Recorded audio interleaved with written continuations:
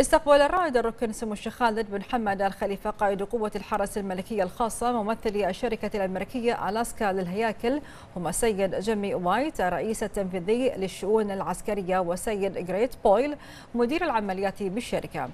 وقد أشاد سموه بالمسيرة الحافلة التي تمتلكها الشركة منذ أكثر من 42 عاما في تزويد المنظومات الدفاعية. وقد تبادل سموه مع ممثلي شركة ألاسكا للهياكل الحديث حول المعرض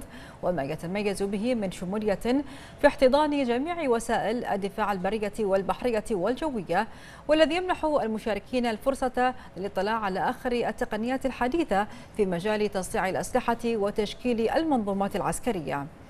من جهتهما عرب السيدان وايت بويل عن شكرهما وتقديرهما للرائد الركن سمو الشيخ خالد بن حمد الخليفة مشيدان بالجهود التي يبذلها سموه لدعم وتطوير قوة الحرس الملكية الخاصة.